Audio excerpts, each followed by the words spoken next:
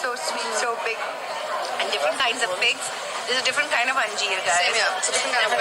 Wow. Mm. Cheers, baby. No, I love you. Mm. Melons are bigger than mine.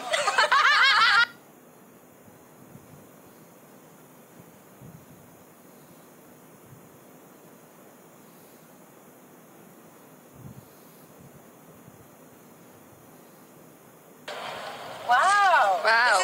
Their flatbread. This is very famous in Uzbekistan, guys. It's bread. It's bread, 2005. 2,500. 2005. Uzbeks, which is like 20 rupees, I think. Right?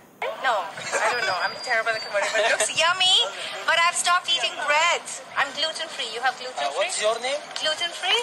What's your name? Shenaz. Shanalis? Yeah. My name is Snuddin. what's your name? My name is Snuddin. Snuddin. Snuddin, I don't eat bread, but this looks really tasty. Smells really good. But if I eat bread, I become very fat. I don't think so. Yes, if I eat bread, I become very fat. Because bread makes you fat.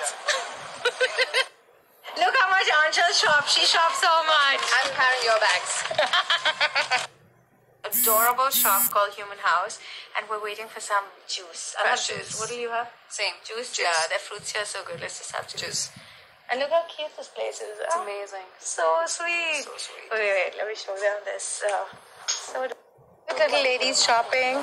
Oh, nice, nice. Everyone has these teeth too. Yeah.